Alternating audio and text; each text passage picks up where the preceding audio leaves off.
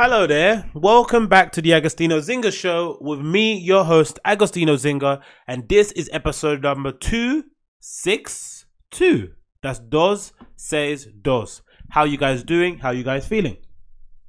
Great. Amazing. Boom, bang, boof. As you can tell, it's a nice sunny day today. The light is streaming in from the right hand side, thankfully. I've still got some light. I'll be able to catch that, so I'm happy with that if you're listening via the podcast app, you'd have no idea what's happening here. So why not you click? Why not click onto the link in the show notes description, which is my website, agostinhozinga.com. Click YouTube, and you can see me in full 720p quality. And in some cases, if your computer allows you to, maybe 1080p. Just maybe. You'll see all the little pimples, all the weird grey hairs I have in my beard, the fact I haven't had a haircut in a month because I'm trying to pretend I'm making an album, but I just can't be bothered to go to the barbershop and I don't want to get another crappy, you know, um hood favorite East London barber to cut my hair and then, you know, for it to pretend to, to pretend like it's giving me a HD Odell Beckham fade, but for it to be in reality something I could do myself if I had a steady hand and a mirror. So um, that's not what I'm gonna do. But anyway, regardless of all that, I hope you guys are doing well. Hope you guys are doing nice. I'm doing amazing. It's the weekend. Why not pod in it? Why not pod? Got a couple of hours to spare before I head out to the gym, get a little pump on. So I thought I'd deliver a nice little podcast for all my podcast listening family. Hope you guys are well hydrated and rested, all that stuff. I'm not sure what you're gonna do for this Saturday afternoon or Saturday evening, but wherever it is, make sure you're safe, make sure you're well hydrated. You know, I've got a nice bottle of water here that I'm well hydrated with. Make sure you're hydrated too. This actual bottle of water actually from a retail establishment called Morrison's, which is a little um, local delicatessen we have here, similar to you know other delicatessens you might have around the world. Um, they specialize in uh, providing very cheap uh, weekly shopping for people like me who are pretending to be students but are actually grown adults who are working full time jobs in order to make sure they don't die of despair. But regardless of whatever it is, I love it. Hope you guys are doing good, man. As well, putting on a Saturday is weird, isn't it? Um, you feel like you should be recovering from a night out or something, but you know, as I've mentioned in previous episodes, I'm a little bit bored of waking up hungover. I think I prefer going out to these big events such as you know tricks at Mixed Garage or you know the Innervisions night happening in Fold in a couple of weeks. I prefer those big um, going out sessions as opposed to the you know the kind of week by week every Friday night after work sort of thing. It's not that fun. If anything, the most fun you do end up having during the week is when you go out with your work friends between the days of like Monday and Wednesday or Monday and Thursday. The Friday night things are absolute pass for me, especially now that I'm working closer to Liverpool Street Station. I'm seeing all the I'm seeing all the like, you know, adult Project X victims out there, you know, trying to make it a big night, trying to recreate the magic of previous. Because that's what ended up happening. I don't have anything against people who go out who kind of look forward to Friday, but it just fills me with sadness to imagine there's adults out there who are in a similar kind of age range that I am, or in a similar kind of point in life, you know, where they have these responsibilities they have to take care of. Um, that their that their that their lives or that their weeks are so full of dread, so full of meaningless, so boring that they're looking forward to one particular day in a week that they can quote unquote let their hair down, get a bit crazy, enjoy time with their friends, get drunk, and then go home, you know, and wake up in the morning, you know, I don't know, a hundred or so pound poorer with a headache and all that stuff. It's just a bit, you know, and then you waste, you end up wasting a day too because you end up waking up hungover, which you waste, you know, countless hours in the morning not being awake and alert and on it. So it's just a, I don't know. It's like a, it's it's not it's not the best thing in the world, is it? But again, I don't blame them because you know if you are actually working a job that actually requires you to work and you can't actually you know because there's some people that work in jobs mostly the ones that you know are housed in like a WeWork or a co-working space. You're not really working eight hours a day. You can DOS a bit. You can stand up and get a million coffees, chat with your friends, sneak off to the toilets, go out to get snacks. You know, you can you can you can eat up a lot of time not actually working. But if you're at a job that requires you to sit at your desk where you don't have any time to chit chat, you just got your headphones in, locked in on an Excel sheet, then I get it. Yeah, looking forward to the week weekend. I absolutely get it because you you've literally you know spent all your time quote unquote studying, um, doing homework, um, staring at a screen. Cool, I understand. But even then, I don't know, man. Let's maybe get a. I'd much rather get a drink a day on the way home just to kind of like for instance, like you know how people don't sometimes some some people are very uh, militant about never taking their laptop home.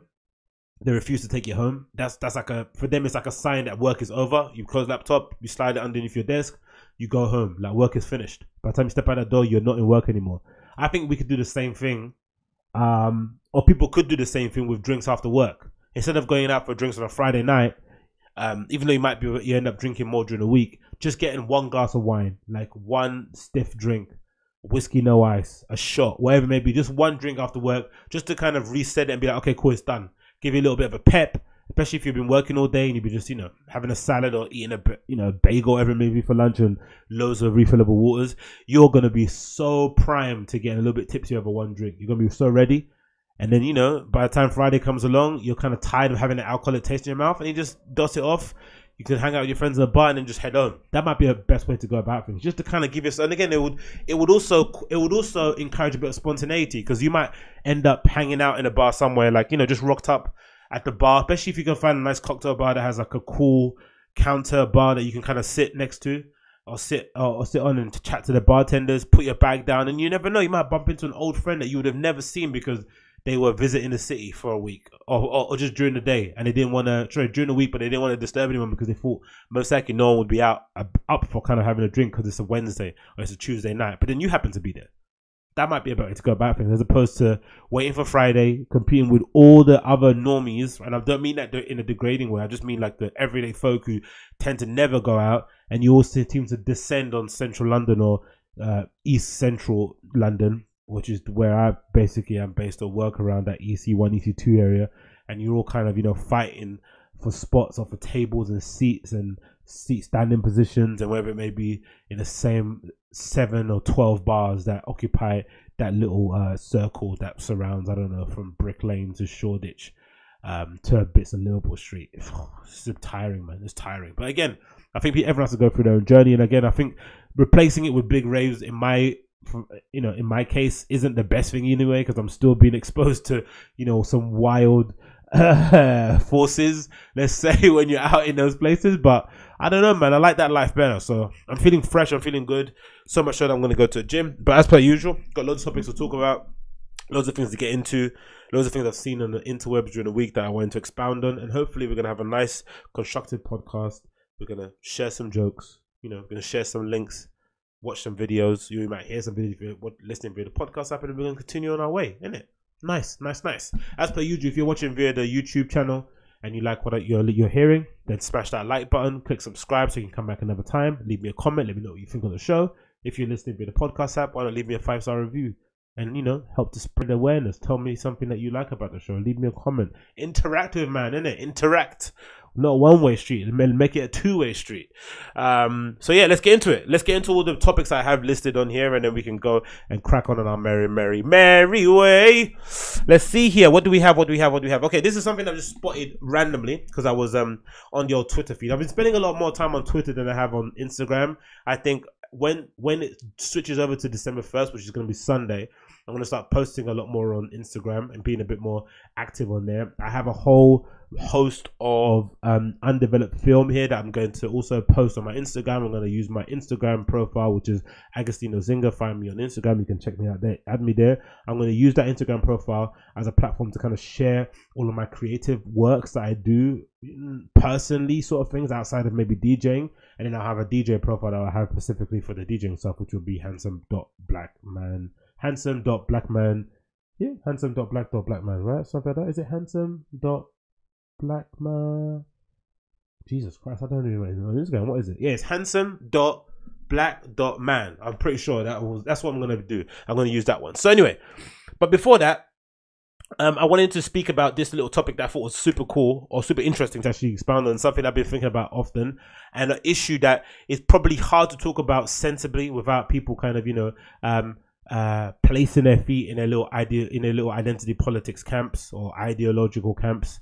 Um, and now hopefully we'll try and navigate this in the most um, honest and respectful way possible without you know stepping on anyone's toes making someone feel bad about themselves. That's not the intention here. So let's try and go through this carefully right?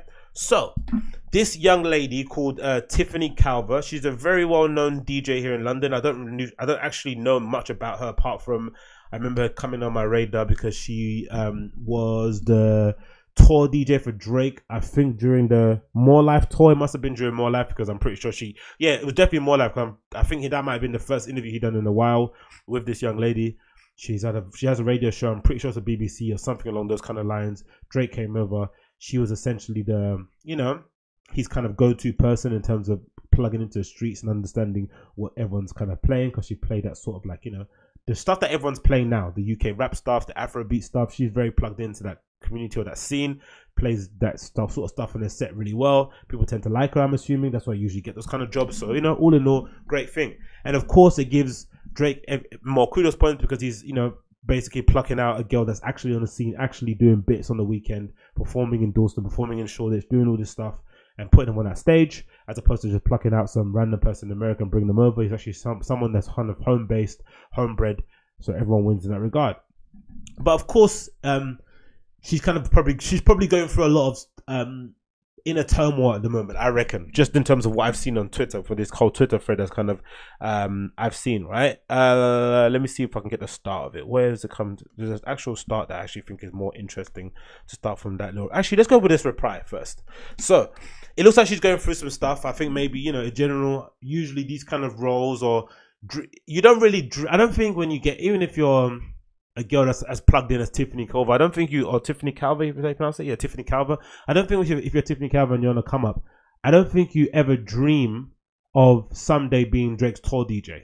May I don't know if if people have maybe people are more ambitious than I am. No, I wouldn't say it's a point of ambitious am, ambition.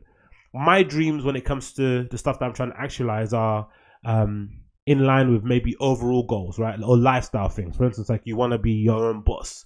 Um, you want to be able to call the shots you want to have your the your destiny or you know you, you want to basically have your destiny in your own hands you want to be able to not be fired um you want to maybe have the possibility to maybe collaborate with a certain you want to be able to maybe get to a level of exposure where you have the possibility to collaborate another with a so so brand there are i don't know maybe i see it more general i don't see it so hyper focused maybe that's the problem i'm not too sure but even if she didn't or she did not but i think sometimes with these bigger goals or these kind of hyper specific goals once you get them it can sometimes be a shock to the system how much else comes with that dream. So if you're saying I want to be Drake's DJ, you have to kind of you, you'll never know what it means to be Drake's DJ once you're Drake's DJ, the pressures that come with it. So I'm assuming this is what she's kind of suffering from, and it seems as if the the questions that people are raising about how she got the job, why she's there, maybe the other people that were quote unquote more deserving are questions that I think happen or will affect a lot of people in the scene, especially the bigger it gets, the more exposure it gets, because naturally,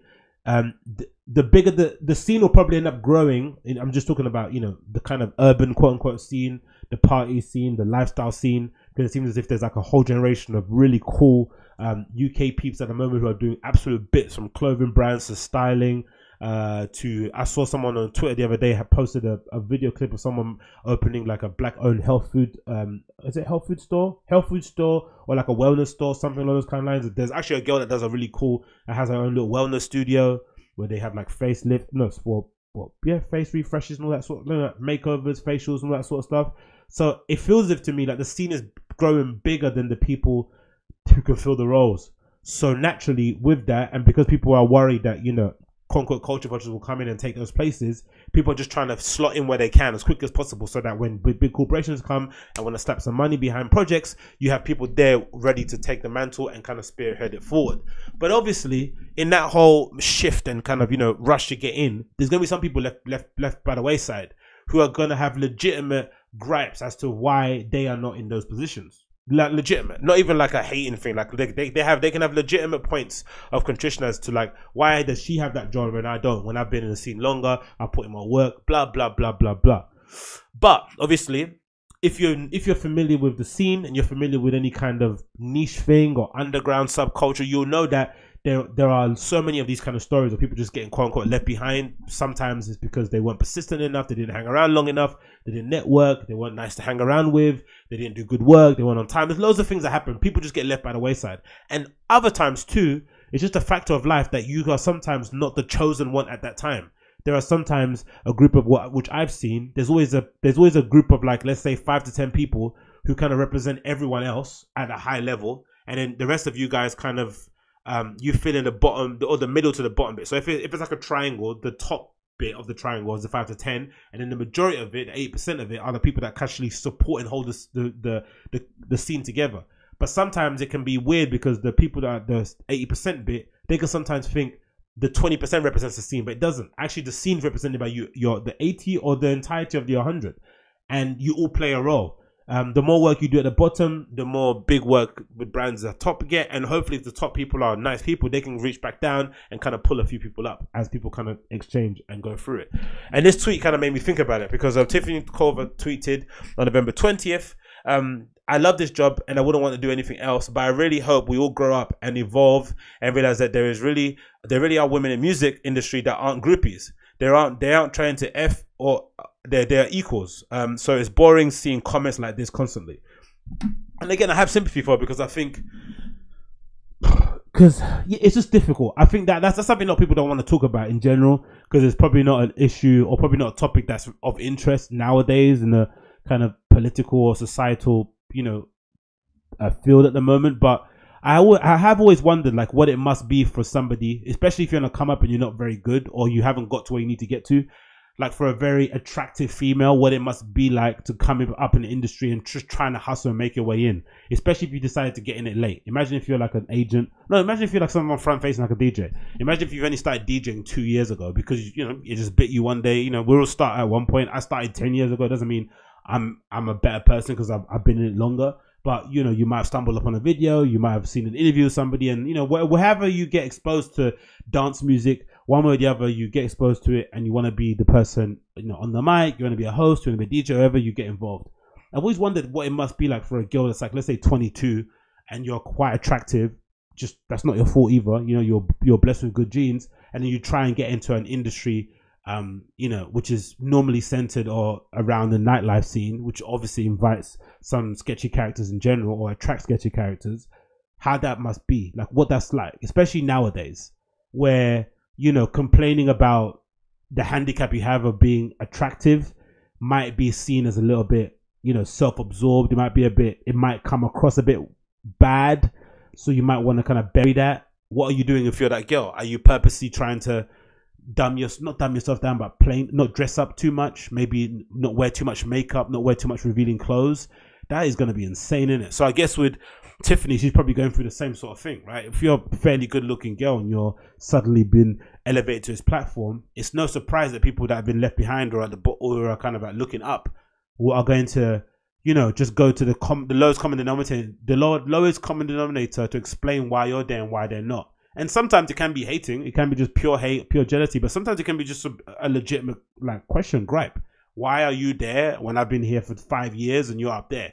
And sometimes just the way the world works, isn't it? Some people just get spots because they just got the spot because it's their time.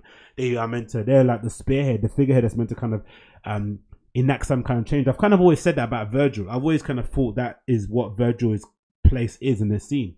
I think the fact that he divides so much opinion amongst even his own friendship group, I'd imagine, because you don't see many of his friends wearing his, his clothing, especially if they don't buy, especially if it's not seeded. You don't really see them actively going out and kind of supporting what he does in that way. But I think he's very aware that he might not be the most talented, he might not be the most able, but he's going to be the example. He sets the tone for everyone else because he's insanely hardworking. So much so he had to take a medically medically advised uh, break from the scene because he was working so hard, right? So he's going to be the standard, the standard bearer, the kind of the the bar everyone has to meet and surpass if they want to kind of get into the industry, which is good, isn't it? Because he's not he's not a smoocher. He's not like a networking guy that kind of got his job just from being like the nice guy in a party. He got his job because he worked hard and bust his balls. So regardless of what you think of the output, it's just the example that you need just to kind of okay, cool. I've got to work harder. So maybe those that's where Tiffany Calver comes in that regard, right?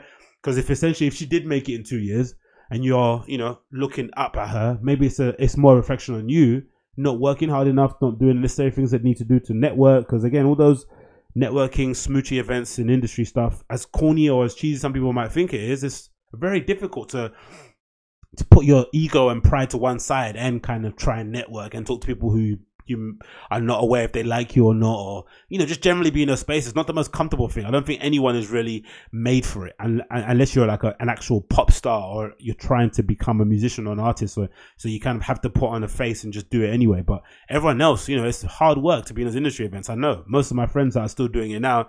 If you buy them enough drinks and t- ask them to be honest with you, they'll tell you they hate going to these influencer things, but it pays, isn't it? That's their job. They have to kind of do what you have to do. So with Tiffany, I kind of feel a bit bad for her in that regard. But also, it needs to be there needs to be an acceptance and understanding that you know, it's okay that you've ma- maybe made it because you're a female. It's okay that made it. You've it. Maybe made it because you're a nice person. People like you. It's not a bad thing. It, that's just that's just that's probably the the that's that probably is a good indicator that we've got quite far with the whole um, diversity thing. Because now the question is kind of being raised to the women or the people who are marginalized prior when it was kind of like the bros club in these kind of scenes. Now they're seeing the same issues rise up even in the bros circuit, right? Because if you're a girl and you're thinking, oh, it's only dudes that are at, got these roles or got these gigs. Imagine the dudes that didn't get the gigs, how they must feel now that you know the light has been turned away from like. Imagine if you're like a you know your average Joe white guy from Essex and stuff. Like, how, how do you feel if you're trying to get into a scene or you're trying to be like an urban DJ? What do you have to do? Right? You don't have brightly colored hair dreads. You don't have you know crazy tattoos. Just a standard dude who likes that kind of hip hop. You like you like UK rap it's gonna be hard for you to kind of get your way in, isn't it? Really, on the most part. So um, maybe some people argue against that, but I, I, think that's true. And then um, this other girl kind of said a comment at the bottom, which oh, again is something that a lot of people are not talking about. The idea that there are these women out there who don't mind um exchanging sexual favors in order to uh, you know get far in their life. I've read the Motley Crue book Dirt, and you've probably watched the documentary, you'll know that groupie culture back then was a lot different than the groupie culture we have now. Groupies had a lot of power, they had a lot of influence. They were sometimes the glue that held some bands together. Um, they were the glue that sometimes held the scene together. They introduced certain people to each other just because they were around. Um, maybe exchanging sexual favors, maybe just being flirtatious, maybe just being the you know the the muse for the scene in general, but they served a very integral purpose. Now maybe the whole term of groupie is kind of looked down upon, but I don't think using any God given gift or prowess is is a bad thing. Maybe when you get lost in the source, it could be a bad thing, but I think the idea of judging somebody for doing that is again, it just goes to show that I just think the people that don't actually get to where they need to get to don't necessarily know what the game is about, in it. And sometimes you have to kind of sit there and say to yourself, "What are you willing? What are you willing to do to get where you want to get to?" And if you're not willing to do that groupie stuff, then you have to also be comfortable enough to say to yourself, "Okay, if someone else does it, I'm not going to judge them because that's what they're willing to do." We all have our different, we all have different thresholds in terms of what makes us snap. And some people, you know, the idea of going to a show and sliding into people's DMs is not that big of a deal. But maybe to some people, it might make your skin crawl. And it's okay. It's, we, can, we can all kind of coexist in this planet doing the same thing. But I thought the entire thread was pretty interesting, actually. Let me actually get it up on here. She of touches on another thing that I thought was pretty interesting. Uh, and maybe it's just like kind of just in general, she just probably feels a bit of imposter syndrome, in it? Because the come up has been super quickly, and it's been been a quick come up, isn't it? Right. So let's read the entire thread. So this is the entire thread from Tiffany Calver on Twitter from November twentieth. I'll post the links below so you can check it yourself. But she says the following: I love this job. Okay, I've read that before. Um, I'm learning to be okay with the ignorance, and that's not okay. We shouldn't be accepting it. We should. We shouldn't. We shouldn't also feel like we have no to hide ourselves or prove ourselves far beyond what our talent proves already. We have to raise our kids better. Um, I'm not too sure about that. I think again, I think if you're Tiffany Calver, you have to accept that there are people that are going to say legitimately you're only there because of X, Y, and Z, and you also have to accept that maybe that might be the case, but that's not your fault. It just isn't your fault. I think the whole um, introduction of females in the electronic music space, especially where I'm more interested in, where it comes to like you know dance music and house techno and all that sort of stuff. I think it's a good thing. For a long period of time, I was I always just say to my friends, I love it. I love going to a warehouse party, and you can obviously tell the person behind the decks is definitely not a guy. You can just tell by the what they're playing and by the just the just the texture in the air. You can kind of feel that it's a girl. You you go to the front of the booth, and then guess what? It is a girl you're like sick. It's good to see because generally all these parties I go to are just full of the same looking kind of dudes. And especially if you go to techno raves or techno parties in places like E1, it's the same white guy in a black t-shirt, you know, kind of looking demure and looking like he's hating his life playing behind decks. But when you kind of open up a bit diversity wise, even again, play music, I think you have to be careful. Same with you know other areas. It's still a, a, a, a, space that you need to be proficient at your job. You can't just having people there just to fill a quota because you're going to empty out the dance floor if the person's not good and it's not going to do anyone any favors. As long as they're of a good standard and they can hold their own in the, in the nightclub, I think I'm I'm more I'm I'm all with the diversity thing because it just makes it more interesting, makes it more refreshing. But the issue that we're they're probably all running into especially the new girls that have been promoted up. I look at the likes of the Charlotte de Wittes, the uh, Amelie Lens, even the Peggy Gous. They're now noticing that they are being sniped at the same way, the same way the Richie Hawtins were, the same way the Lucianos were, the same way the Ricardo Villalobos were, the same way the I don't know many others, Henrik Schwarz, right? All these guys were being snapped at in the same way. Chris Liebing, because they were essentially the, they kind of represented the same archetype, the same old kind of girl. And now, if you're if you're a girl, for instance, and you don't necessarily tick any of those boxes I mentioned of those previous girls, you might not be that social media friendly and stuff. Then what do you do? So I think sometimes if that person complains about Nastia or Nina Kraviz, they're in their right to because legitimately, like, you know, it's looking like they're getting everything. Like all the spoils are going to the person at the top, which is again something that happens in general anyway, right? I think any successful person you speak to, they always have that story where, you know, on the come up, they say yes to everything. Then when you get successful, you have to start saying no. And what you realize is what when you get successful, um, the opportunities actually intensify. Like they actually you they, they um you get inundated with requests so much so you don't have enough time in a day to even uh, you know hear them out. You just have to kind of flat out just say, look, I've got no time. I've blocked out this time to do this. Like you just got no time, and then then you're thinking to yourself, wow, imagine all the people kind of scrapping, especially scrapping for kind of places or opportunities, thinking that there's nothing out there. When I'm getting inundated with these offers, and I'm kind of palming off to friends and all that stuff, and it's just every day your inbox is full of chances, full of opportunities, full of collaborations, full of opportunities to make money. But for the people underneath, they're not really seeing that. Um, so you continue here. Uh, the anxiety that comes from just trying to do any job is wild, and I know so many other women can relate. This is a bittersweet feeling because we shouldn't have to find we shouldn't have to find peace in knowing we all go through the same damn struggle. But that's part of it, isn't it? I think that's part of actually achieving something and getting to where you need to get to. That struggle is real, and I also think it's just um, it's not a bad thing. I don't think you need to beat yourself up over it. I think you just need to understand that. Look, you know, you got to where you got you got to. There might have been some luck. There might have been some good graces. Someone looking up above, kind of, you know, guiding your path without you knowing. But you can't control that. What you only thing that you can control is getting better, um, and kind of, you know, engrossing yourself in the whatever pursuit you're doing in you're doing at the moment, and just trying to put your best foot forward. You know, because again, I, I I really think, especially in this era now where everyone's kind of you know obsessed about execution and how to post things and what lighting to do and how many you know it's obsessed about the details. I think sometimes the other stuff, the personal stuff of just being a nice person. I think people in general, whenever I've heard people speak about this girl, people always say she's nice, she's great person. Everyone likes certain stuff, and even you can even listen to the Drake interview. There's a lot of warmth in there, a lot of kind of a lot of kind of you know a lot of love and warmth there. They feel like actual friends. I think it goes a long way. People actually like you and are giving you chances because you're nice, even if you're absolutely dead at your job. I think that's great.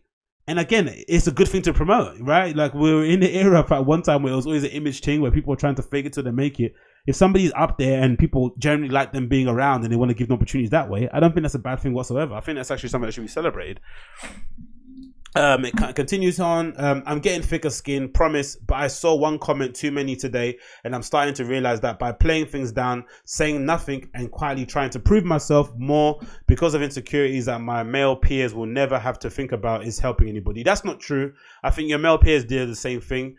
I think it's natural, honestly. Like, there are times I've sometimes read interviews with DJs and stuff, people, especially people who've, like, you know, maybe been in the scene for three years and suddenly you know they're playing I don't know this person's playing Houghton they're at Coachella and stuff. You're like what? You got to listen to their mixes. You're like I'm sorry but I'm definitely better than this person right? There are occasions I go out especially when I go, went to like regular club nights and you just go okay cool. No or when you go to a big club night in Fold whatever you might you know be blown away and be like oh my god these these people are just light years ahead of where I am now. It gets you inspired. You go home you start mixing you start digging for new tunes. You know you, it really gets you inspired. But there are times when you go out and you're like bloody hell, man. You just have, wow, this person's getting paid a grand a night, 500 quid a night, and probably minimum, to play music that they love in front of a captive audience and not, not an empty bar somewhere in the middle of East London or in the middle of South or in nowhere land in, in a warehouse somewhere in Hackney Wick. They're actually playing in front of a great crowd that wants them to be there. They get a rider. They have an agent, you know, all this sort of, all this amazing stuff that you're working up in your head. And you, you think, you think like, you know, honestly and critically that, yeah, like objectively, I'm better than this person that those can happen, but you have to keep reminding yourself and checking yourself and saying that it's not that person's fault, and sometimes it's just that that's not your time, it's not your place.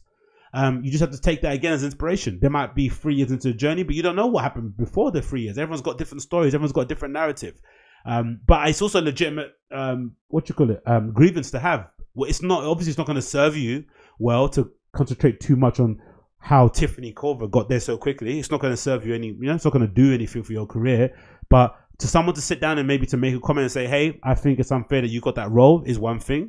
that's that's up to them. They can do that. But I think as the person, as a kind of star that's been left that comment, you probably have to just internalize it as just them kind of you know it's more of a reflection on the person commenting as opposed to you it's more so the pain that they're kind of going through. Just kind of keep it moving. There's nothing you can do really. You can't combat it in a real honest if you're really honest with yourself there's nothing you can really say that's going to knock back that argument of like hey i think it's unfair that you're where you are and i'm where i am when i've been in it longer. Do you know that kind of argument? And i get it. It can make me make you think a bit shitty but i don't think the person that's at the top has to overcompensate and work harder and kind of make it look like oh I'm, I'm always at work I'm not doing stuff and not post. Because I imagine that would be something that would be really weird in it playing your head. Imagine you're that girl you're like a Tiffany and you don't and it feels that people think that you only got there because of X Y and Z maybe subconsciously it will make you um, hesitant to start posting pictures of yourself on holiday.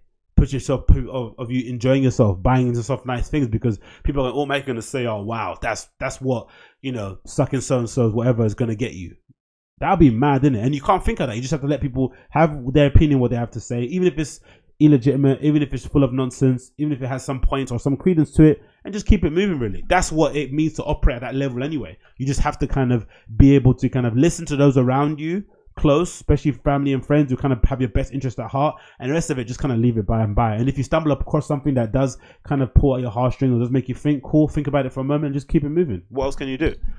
Um, and it's just the following here. Um, a really big, ro- a, a really, uh, a really big uh, reason I took the role on that I have now is because I really hoped it would help to switch the narrative, inspire more women to do anything in this world, and know that gender, like many things, should never hold you back. Eh. Again, I don't think that holistic kind of, you know, um, you know, uh, save the save your whole gender thing is going to help you there either. Those playing those games, I would say, I would say, you know, it's no, sh- it's the, the you shouldn't be ashamed. You shouldn't be um shy to say that you know you're ambitious and you took that big job because you wanted it. It was a great opportunity. Cool. If it so happens to inspire some women, fair enough. But you have to also be aware that it's going to piss some girls off, isn't it? Because there's some girls legitimately who are going to think that you shouldn't have that job or you don't deserve it. That's fine. But all you can do with your platform is you know, pull your hand back. Like same with the Virgil stuff. How many personal hype you have to go through to see people calling Virgil a fraud? But every all of his friends are around him, his collaborators, they love the guy because every opportunity he gets, he's able to put other people on. Whether it's a stylist, a photographer, uh, you know, a set designer, whatever it may be, he's always putting people on. So everyone's kind of contributing to his uh, glow up. And in general, that kind of habit from that person at the top is going to then filter down to the people at the bottom. It's very unlikely that if he plucks some assistant um, out from the depths of Instagram to help him out, that that person's going to be really tight with the opportunities. They're also going to want to try and give back too, to kind of you know extend that lineage. And you can do the same thing too. You can't help how people interpret it. It is what it is. Um, but this idea that you're somehow rallying the female gender or women in general to kind of you know uh, pursue their dreams is a little bit of a misnomer. And I think nowadays too, to be completely honest, there's never been an easier time to make it as a woman, really, isn't it? Especially a woman of color or you know a, a person from a uh, a minority group, it's probably the best time because everyone's looking for somebody, especially if you've got some level of talent, to appeal to that kind of audience because that's the audience that they quote unquote want to capture or want to um, seem as if they represent. So I don't know. Again, I just think there's there needs to be more blinders especially if she's at the top of that level. She needs to just kind of focus on what she's doing and not care about the noise. And the last bit here before I finish, I was terrified before my first show because I knew all of the things that were going to come with the change. This was a big one. It's sad that the fear I had then is still constant fear I have today, but I'm okay with it. Taking the taking the bullshit if it means someone else doesn't have to one day. Eh, everyone's gonna take bullshit. I don't think it's ever gonna end, especially in the social media world. I think it's just it's just too easy. That's probably why the likes of Logan Paul and Jake Paul get so much hate on the internet. We all know how YouTube videos are made. We all know how to do jump cuts, and when you're seeing somebody, you know, winning on that level and being so reckless with it, it's only natural that if you're a YouTube creator, that you would also hate their guts, right? It's, it makes complete sense. There's nothing wrong with that. But I think if you're Jake Paul and Logan Paul, you can't ever think about or focus on what those people are saying. You just have to kind of isolate yourself, incubate yourself around the people that are trying to make content too, trying to pursue their dreams, and just keep putting out content, especially if the audience likes it. Because again, like I say, the market always decides. If the market has kept this girl in a job at the BBC, um, if the if she's getting good listens and good plays, then the market is deciding that they like you. They've they've they're deciding with the times that they're pressing play on that online radio player, right? Especially nowadays in the era of podcasting, like who the hell is listening to radio? I don't listen to radio. People are listening to radio and they're tuning into a show. They actually like you. Do you know I mean? They, they proper think you're good. They proper think you're sick. And if people like Drake are, you know, wanting you to go on tour with him and be his tour DJ, he thinks you're sick too. And then people see you playing, like, oh, that guy's actually really good. And they want you to play and you get more bookings. So it's essentially the market's deciding your value. The moment the market doesn't think your value has matches your talent or matches your your your platform, that's when the gigs will start to decrease and obviously things will start falling by the wayside. Hopefully not, but you know, that's how it goes. So to so to think somehow that's going to change or never will change, and that's how it is. That's how it's always been. But I think again, maybe it's just an imposter syndrome thing. Uh, maybe again it is kind of a self sabotage thing too. Because she just mentioned in this tweet, I was terrified before my first show because I knew what the good things. I knew I knew the things, all the things that would uh, were going to come with the change, and that happens quite a lot in it. Self sabotaging, where you kind of you kind of mess things up for yourself because you're uncomfortable with the idea of potentially reaching a really a really high level that will then require you to do things that you're probably not willing to do at that point in time whether it's kind of focus completely on work and not go out whether it's invest your money in little side hustle you're doing. Sometimes we all do as humans because you're so afraid of actually trying to reach your dreams which is probably why which is probably um the main reason or the main crux of a lot of, especially actual legitimate haters. I'm not talking about people that actually have an opinion on your career and think it's unfair, but I think legitimate haters, that's probably where they come from. Their point of pain, I would assume, is that when they see someone like a Tiffany or someone that's actually doing their thing and going for their dreams, it just is a, a direct mirror reflection of what is kind of, it serves as a mirror for why, for why they're not where they should be, essentially. And it makes them feel uncomfortable when someone's really ambitious and really confident and you know talks a big game, backs it up, delivers, delivers, delivers. It makes them uncomfortable because it shows that you can do it if you believe in yourself, and that in general they're kind of holding themselves back. They're their own worst enemy. I kind of relate a little bit back to like you know my mum. You know, a, a conservative African woman who, anytime I mention I'm going to invest a bit of money in a party or put an event on or buy some equipment or whatever it may be for this tiny project that I'm doing, she'd be she's very like risk averse, very scared because her whole entire life she's had to battle, scrimp, and save to kind of feed, you know, and house three young boys, you know, growing up in London and trying to make sure no one dies and no one ends up in prison. So the idea of kind of taking a risk doesn't work in her head because she's under the uh, guise of like, if I keep my head down, work hard, I'll get my passport, I'll vote Labour, I'll keep my council house, and I'll keep trucking on. So to so to get offended at my mum thinking that what I'm doing is a bad idea, or that I'm wasting my money, or that I'm being stupid, is it is is doesn't make any sense because I understand her point of view, I understand her point of pain that she's coming from. I think you have to kind of have the same sort of sympathy or empathy when it comes to people online leaving random comments. I'd say just kind of strip away the the venom in it. Probably don't see it as a direct insult or directed towards you, and maybe see it more as a reflection of where that person's coming from.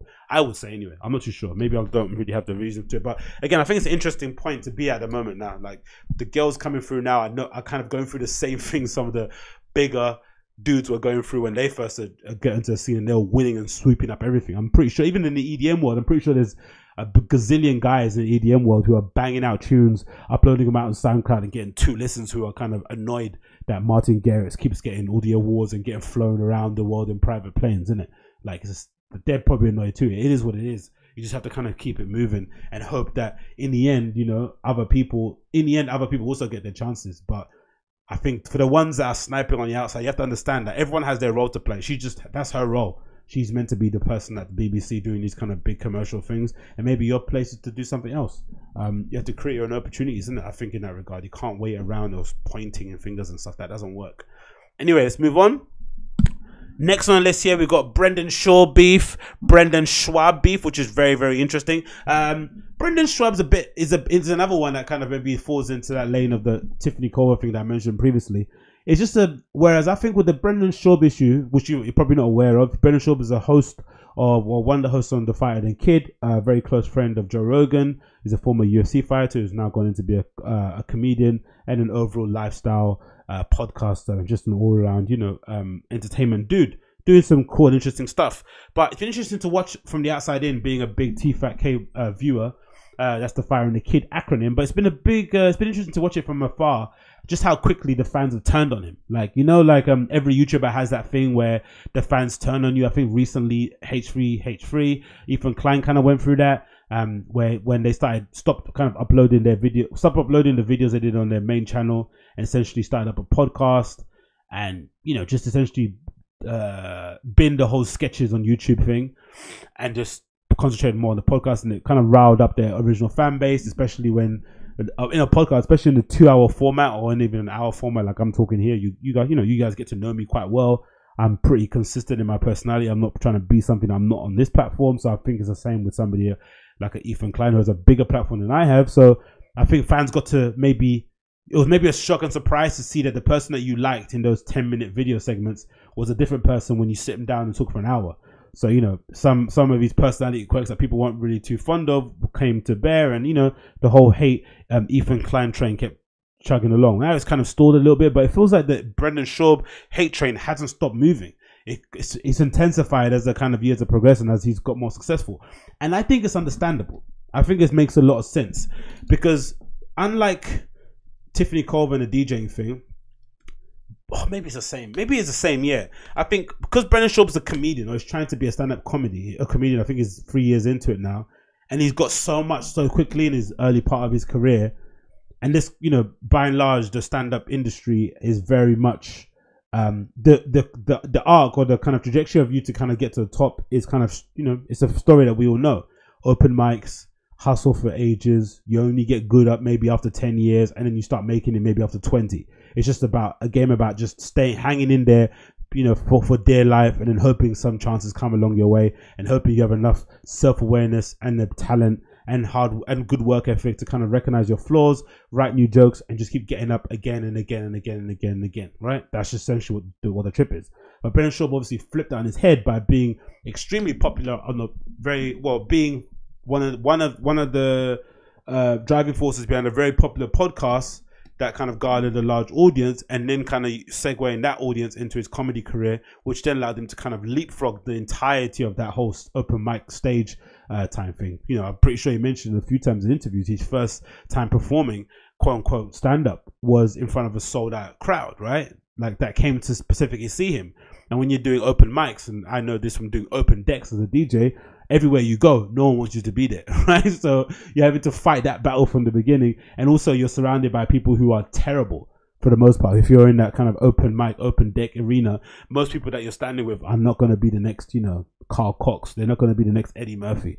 We know that for real. So to, to, to so, so for somehow to kind of rise from that debris of um, awful, average, untalented people and actually make it is a you know once in a million chance. So for Brendan to go from literal zero to where he is now with the Showtime special, it makes sense that some comedians won't like him and wouldn't have a good thing to say about him. But I think the hate on the forums has got a bit crazy, and I think um, this comment from uh, Luis J Gomez kind of speaks upon it because Luis J Gomez and Brendan have kind of had a little bit of a subliminal you know, beef here and there. I think because of what Brendan Schaub said about Ellis Mania, because I think Brian Callen went to fight on there one time, and then Brendan was like, "That's a terrible idea. Why would you do that?" And there's kind of like a, been a bit of a weird little beef between them, right? And I, I, I just imagine the way the Legion of Skanks people are. And how they kind of go hard in their pain and in the most offensive podcast in the world. I imagine that kind of humor or that kind of busting of the balls doesn't really um, vibe well with Brendan. I think I mentioned I remember him mentioning something along the lines of being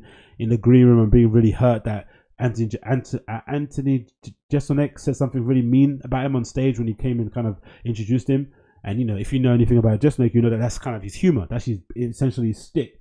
But I just think he doesn't really do well with that kind of humor. So I'd imagine that's why it didn't work out. But I think this comment by Luis J Gomez really did, or Luis J Gomez, sorry, really did um, speak to the idea that I think sometimes fans can build up a narrative in their head as to why people hate this person, and also it sometimes isn't that serious. Um, I think comedians, especially if you're not successful, you're. I think you should be.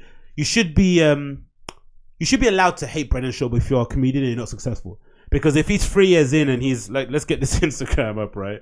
If he's three years in and he's able to, I don't know, what's that picture? If he's three years in and he's got a car like this and you're a stand-up comedian, I get that you hate the guy. I understand it, right? And if we're looking at this picture of a Porsche 911, I think, um, in some amazing Tiffany blue color with these great rims and you know bright yellow um brake pads, it makes sense to hate the guy because you're in the trenches and he's kind of leapfrogged what you're doing obviously it's not going to serve you in the long term. You probably need to kind of focus more on what this guy's doing right and what you're doing wrong and kind of trying to copy that in your own way to see if that's going to help your career go forward. But it makes sense for some communities maybe to have some ill will to say about him. But I think for the fans outside of it, who are kind of watching from the sidelines. I think it's getting a bit OTT, and also I think you have to realize that sometimes people are just like this is just a this is life. This is like Brendan Schaub is a representation of what happens in life every day. My first job, I was yeah, I didn't get my first job until I was like maybe 18, 19, and that only came because I mentioned previously my dad's friend or my uncle, sorry, was uh was basically the janitor of Hollywood Bowl, which is a, a big uh, bowling arcade thing that we used to have here in London that closed down a while back. But he was a janitor then. He essentially gave me a good word to the manager. They got me in. They sold the gig as some other thing, and then when I started, I was just working behind the, the chicken nugget stand, right, doing my thing. No, no bother. But I was happy in it. I was making my little money. I was able to take girls out on dates, get my you know tractors from JD Sports, living a good life. But I only got that job because my uncle got me. That's it. He brought me in. I was handing out CVs for like a good two summers, constantly going out, photocopying stuff, like, you know, handing out CVs every shop I could go, Poundland, whatever, it doesn't matter. Any shop I'd go to. I didn't get one callback, no intro, nothing. Obviously, at that time, I didn't have any experience, even on paper, so I understood why they, I wasn't a good candidate. But I only got my job because my uncle. And I think that is an accurate representation of life. Sometimes people just get lucky breaks or they know the right people and they are able to kind of get forward in life. And that is just the way it is. Now, it's not always fair. We know that, but life isn't fair. That's just the general reality of it. But I think some people on that, on that subreddit, especially the, the Fire and Kids subreddit, they have it in their head that, I don't know, that he shouldn't be this rich and shouldn't be this successful. He's been able to make it as a stand-up comedian in another unconventional way. I think it should be celebrated. I think it should be heralded in some regard. Whether or not he deserves to be on certain platforms is up for debate. Who really cares about it? But I think if you're if you're a, a person watching for the sidelines and you're just a you know a fan of the podcast, to kind of snipe at him and to kind of create this division between the comedians is weird because I think deep down, even the comedians that don't like the guy have to respect the hustle, innit? He, he, he took the a really popular podcast and kind of you know, uh, segued it into a really successful stand-up career that led to other kind of opportunities, that should be heralded. That is essentially what everyone's doing nowadays, right? Everyone's got a podcast. Everyone's got um, their own little quote unquote um, marketing platform in terms of an Instagram profile. Everyone's posting or trying to catch a lick on Twitter and post something viral or make a, a really good meme or go back and forth with a really influential YouTuber like Chris D'Elia went back with you with um Jake Paul. Maybe do a really viral video like Bert Kreischer and Tom Segura. Right, everyone's trying to do something. Everyone's got their little different avenues that they're kind of uh, going on in order to kind of gain you a new audience or kind of increase their exposure. That's what everyone should be doing. Now, whether or not you know the level of success he has matches his quote unquote um journey in the pro- journey in the whole thing overall is maybe up for debate, but it doesn't. It's not even. It's not even worth talking about because it is what it is, isn't it? But I think Luis J Gomez spoke about it really well in this little um, ramble that he had when he was on Twitch. I'm going to definitely play it for you now so you guys can hear it. Let me just take it off the screen so I can get it up for you. But I thought this really spoke about it well, and I think hopefully this goes a long way to kind of quelling some of the um, vitriol against him on the on his subreddit because I know a lot of podcasts, especially Ethan Klein on H Free, like they, I think even your mum's house, they do it. They go through their Reddit and kind of, you know, maybe find topics to talk about. Maybe someone posts some good clips or something, but I don't think Defying Kid staff can ever go on that subreddit, Defying the Kid subreddit especially, and get anything helpful from there because everyone on there absolutely hates the guy. Like they hate him for real. They hate his guts. Like, and I've never seen such vitriol, such anger towards him. Um, but let's play the video first, and then I'll I'll I'll get a, little comment up that says that basically breaks down why some people hate him so much. Nobody, nobody really has a problem with Brendan Schaub. That's why you guys are fucking like everyone's like, one of the floodgates coming up, but one of the gloves coming off. Why don't you actually just fucking say it like it is? Won't you say, I hate Brendan Schaub, fuck that? Because nobody dislikes the guy. The guy's a nice guy, I believe. I mean, I only met him once. He was very nice when I met him. But you know the funny thing about this is that as funny as like you know as kind of um respectful and honest as J. Gomez is being, the Puerto Rican rattlesnake. If you've listened to Legion of Skanks, if you've listened to rap, you'll know that this guy says some wild stuff, and you know that if he like you know that part of the reason why he's kind of holding back a little bit too has to do with Joe Rogan, which is another part of this probably the story of of uh, Brendan Schaub people don't like. You know, I think it's quite clear that if he didn't have a Joe Rogan in his corner, he wouldn't have been as successful as he is now in that kind of comedy space. Maybe I don't know. We can't really say for certain because podcasting is so big now, he could have probably still been at a level that he's at now. Segue that in some way or the like. But it's pretty obvious obvious to us looking from the outside in that Joe Rogan, even though he's not, he doesn't really flex it that much. He is quite a well respected and powerful person um, in comedy, in the comedy circuit, in the entertainment circuit. I'd imagine if you're a comedian and you have the opportunity to get on the Joe Rogan podcast, I, I you know what I judge it on? I judge it on um, what's his name? Uh, one one half from the uh about last night podcast. Adam Ray went on Joey Diaz recently, and um, Joey Diaz said in passing that Joe Rogan said he liked Adam Ray's set, like you know, said something nice about his set. And Adam Ray was like mentioning it two or three times again. Oh, did, did Joe really say it? Joe really say that? And that automatically made me think, especially as well thinking about how the Legions of Skanks were when they went on Joe Rogan the first time, how well behaved they were. It made me understand just how much um, reverence people treat Joe Rogan with, how much of a deity he is, how looked up, how people really respect this guy in this scene. So I'd imagine if you're a comedian and you get a, an opportunity to go on his platform a lot, like Brendan Schaub has, because they're friends, they're best friends, and he kind of supports your career, he gives you good career advice, that it can obviously speed up your process, right? It can, you know, it's happened to authors. Authors go on his show on Joe Rogan's podcast and promote a book, and the book sells out or it jumps up, you know, a million places on the New York Times bestselling list. It does help in that regard, but you also have to understand that comedy, especially, you have to put bums in seats. He can, you know, Joe Rogan can help out Brendan Schaub, get him an introduction, maybe get him a few podcast sponsors, put some money in his pocket. But if Joe, if Brendan Schaub wants to feed his family, if he wants to, you know, ex- expand his family, he wants to provide for his family, wherever it may be, he's gonna have to be good at his job.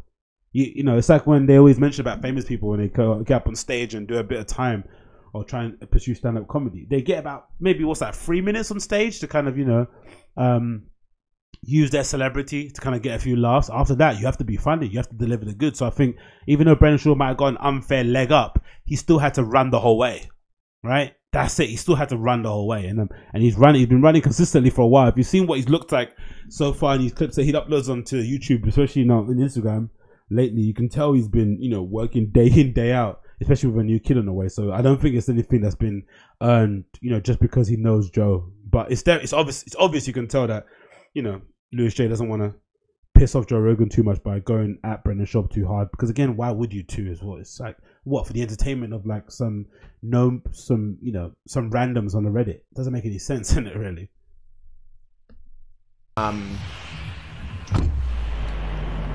yeah, I think that's why most comedians don't openly trash it.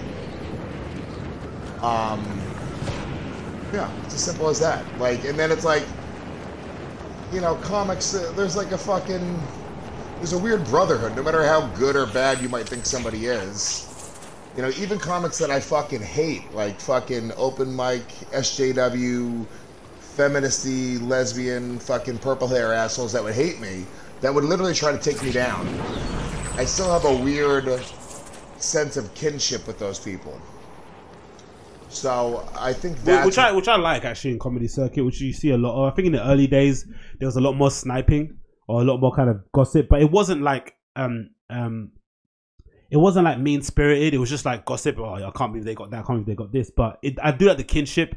When someone's in trouble, no one tries to dog pile on, which is probably why you got such a um, Patton Oswalt and uh, Judd Apatow got such a negative reaction from the comedy from other fellow comedians when they started, you know, virtue signaling. Because for the most part, no one does that. Even if people think you're horrible, they're never gonna kind of dog pile on top of you. If if if if, if anything, which I think is awesome, if if, if they think you're an untalented hack and you're suddenly getting attacked and, and trying to get cancelled, you're probably going to get more support from people that you probably would never think will support you because they feel a level of uh, kinship and they also know that that could easily be them. So they want to put a good foot forward. They want to also make an example that, you know, this is not what we don't do this. And I guess in comedy too, because it's so insular and because it's such a risque art form, it sort of helps your career sometimes too. You know, look at um, Louis, uh, Louis C.K. is a good example you know you can literally get away with anything if you you know to a to a certain extent in comedy and as long as you do right by other comedians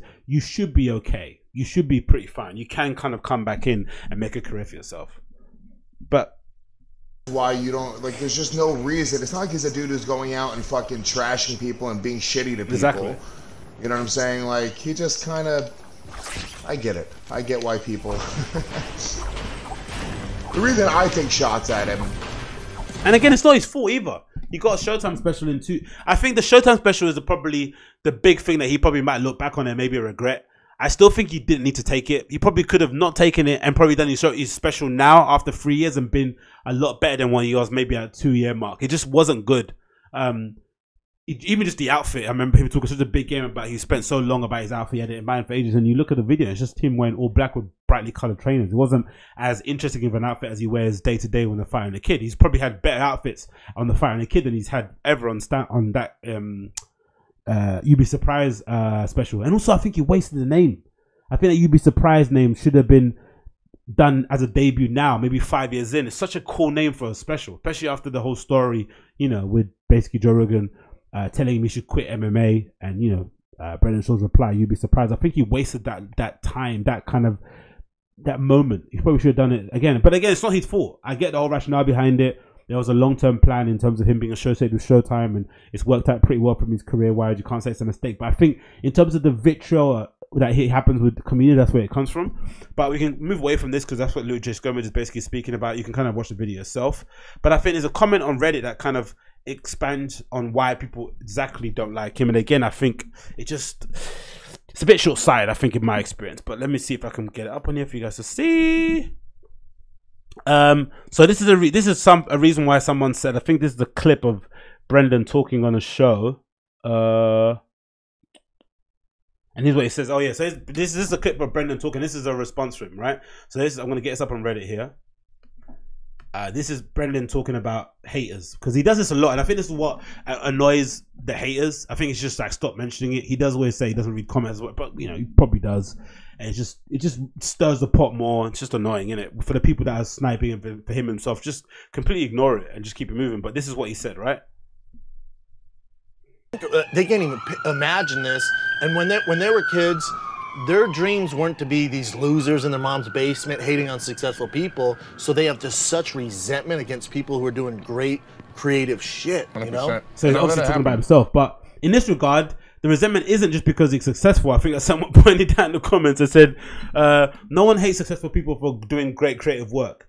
We hate Brendan Schaub because, or Slob, they mentioned here, being super disrespectful because um, he's the beneficiary, the benef- the beneficiary, sorry, of undeserved success. He's a comic who can't tell a joke and a commentator who can't speak properly. He's a stupid, arrogant bully who has consistently failed upwards. People have an innate sense of fairness, and although uh, we admire success, we despise undeserved success. That's why we hate you, Brendan, because there is there. If there were any justice in the world, you'd be bartending in your hometown, effing your friends' wives, and drunkenly contemplating suicide. Jesus Christos, instead of getting rich as an entertainer. Now, obviously, the last couple of sentences are a little bit mean and a bit over the top, but the general sentiment from these people on the outside, again, they're not comedians. Other com- or even maybe other comedians. Other comedians have got legitimate reasons not to like the guy. They can just say, look, he's three years in, he's got Showtime special.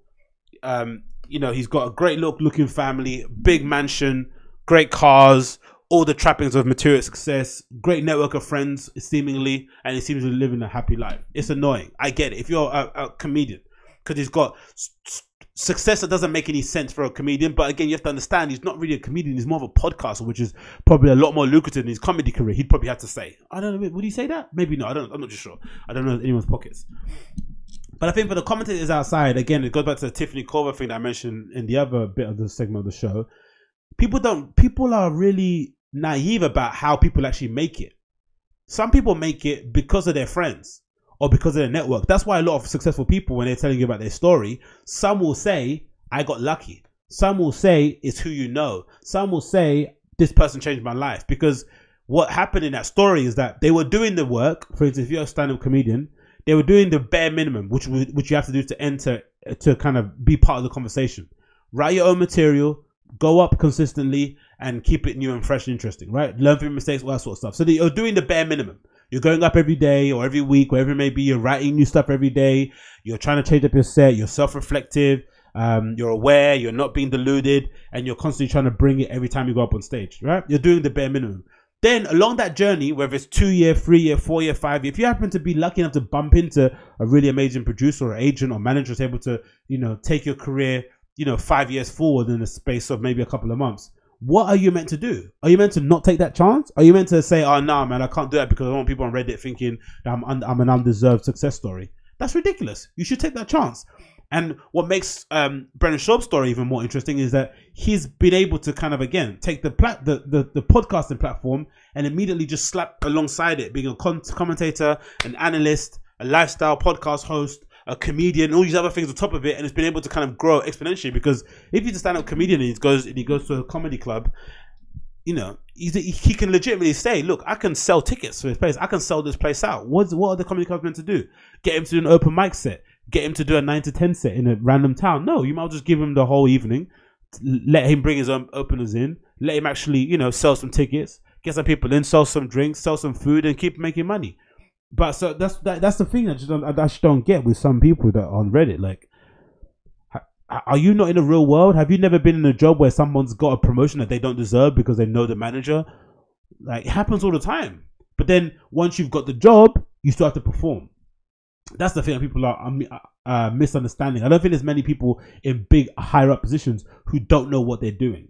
For the most part, they might not be as proficient as you want them to be, but they know some aspects of the job. And they might not be, they might not have got the job the way you wanted it to get the job, but that's the way the world works. Sometimes people get stuff, you know, I don't know what you what you can say. Like that, that's that's a major part of the success story of being able to have cultivated network. So again, I don't blame I don't blame him, man. I think it's a good thing actually.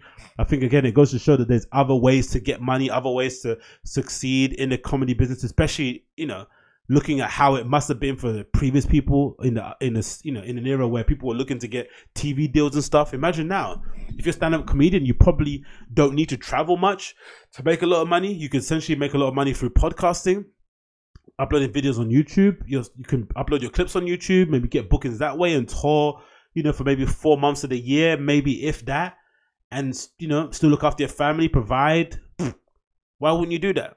So again, I- I'm I'm not too sure why why everyone's sniping. Again, I think maybe it is a little bit of undeserving success thing, bit of jealousy. I don't know, but the vitriol on that for on that subreddit, mate. I recommend no one from their team check it because they hate the guy super hard. I just don't understand. I really don't. But anyway, what can you do? Anyway, that's one hour. Thanks for tuning in. I'm gonna head to the gym now. It's Agostinho Zinga Show episode number two six two. Right? Uh, as per usual, for all things concerning myself, click my website, agostinhozinga.com. You'll be able to find listings for my DJ gigs, other bits and pieces that I do. Um, some design works on there too. I'm going to open my store back up again. I think maybe the beginning of the new year, so keep an attention to that. There'll be some good little bits of merch on there as well. Um, if you listen via the podcast app, leave me a five star review. Of course, that'll go a long way. People, people find the show. If you're watching via YouTube, smash that like, click subscribe. You know, do the rest. Leave me a comment, interact. Let me know what you think of the show. But until then, I'll see you guys very very soon. Hopefully maybe tomorrow maybe another one later on today. But if i don't see you then have a good saturday. Enjoy your time. Drink loads of water. Cover your drinks if you're a lady. If you're a guy make sure your phone's charged up. Your friends can find you. And i'll see you again very very soon. Take care. Peace. Be well. Bye